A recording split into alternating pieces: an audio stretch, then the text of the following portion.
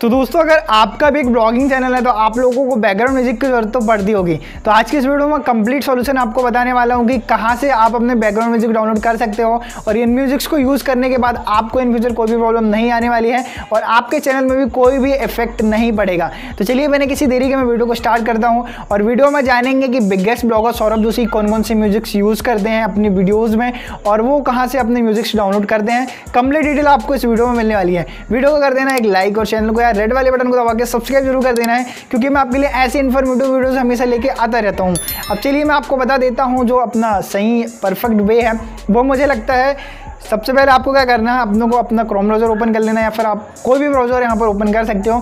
और इसके बाद आपको क्या कर देना है, यहाँ पर जाना है यूट्यूब स्टूडियो में और यूट्यूब स्टूडियो में जाने के बाद आपको एक सेक्शन मिल जाएगा लाइब्रेरी का। तो आप यहाँ पर जाइएगा और आपके जो है यूट्यूब म्यूज़िक लाइब्रेरी ओपन हो जाएगी। यहाँ से आप चाहें तो कोई भी सॉन्ग डाउनलोड कर सकते हैं, कोई भी म्यूज़िक यहाँ पर डाउनलोड कर सकते हो। आसानी से इनका, इसका यूज़ कर सकते हो। और इन म्यूज़िक्स को यूज़ करने से आपको इन फ्यूचर कोई भी प्रॉब्लम नहीं आएगी। यहाँ से आप जो चाहें वो म्यूज़िक डाउनलोड कर सकते हैं और अपने ब्लॉगिंग वीडियोज़ में यूज़ कर सकते हैं। तो सबसे अच्छा वे तो मुझे यही लगता है।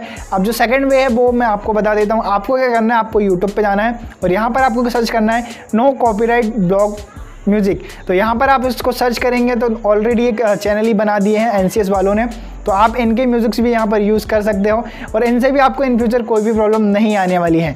तो आप चाहें तो इनके म्यूज़िक्स आप देख सकते हो। यहाँ पर आपको काफ़ी सारे ऐसे म्यूज़िक्स मिल जाएँगे जिनको आप बिना किसी क्रेडिट दिए, अगर देख लेना आप डिस्क्रिप्शन वगैरह चेक कर लेना, वहाँ पर अगर आपको क्रेडिट देने को बोला जाएगा तो आप अपने डिस्क्रिप्शन में इस म्यूज़िक्स को यूज़ करेंगे तो उसका आपको क्रेडिट भी दे देना होगा। तो दोस्तों, अब हम लोग बात कर लेते हैं कि बिगेस्ट ब्लॉगर सौरभ जोशी अपनी वीडियोज़ में कौन कौन से म्यूज़िक्स यूज़ करते हैं और हम उन म्यूज़िक्स को कहाँ से डाउनलोड करके यूज़ कर सकते हैं। तो मैं आप सभी को बता दूँ, मैंने सौरभ जोशी की काफ़ी सारी ऐसी वीडियोस देखी, जिन वीडियोस में उन्होंने पेड म्यूज़िक यूज़ किया है। अब पेड म्यूज़िक क्या होता है कि कोई भी कंपनी रहती है, वो उनको जो है पेड म्यूज़िक प्रोवाइड कराती है। देन अगर हमको नीड रहती है तो हम लोग उन म्यूज़िक्स का पे करके उन म्यूज़िक्स को यूज़ करते हैं। लाइसेंस कंपनी द्वारा प्रोवाइड करा दिया जाता है और इसके बाद हम लोग उनको यूज़ कर सकते हैं। तो देखिए, उन्होंने मतलब सौरभ जोशी ने काफ़ी सारे ऐसे म्यूज़िक्स है जो पेड है, उनको यूज़ किया है, उन्होंने उनके लिए पे किया है।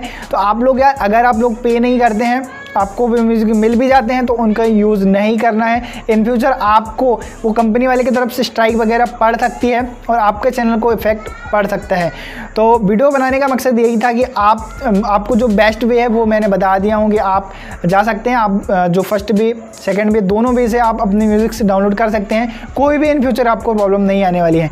बाकी आपको हमारे चैनल पर और भी ऐसे इन्फॉर्मेटिव वीडियोज़ हमेशा देखने को मिलते रहेंगी। तो वीडियो को कर देना एक लाइक और चैनल को रेड वाले बटन को दबा के सब्सक्राइब ज़रूर कर देना है। फ़िलहाल आज की इस वीडियो में बस नहीं था। Thanks for watching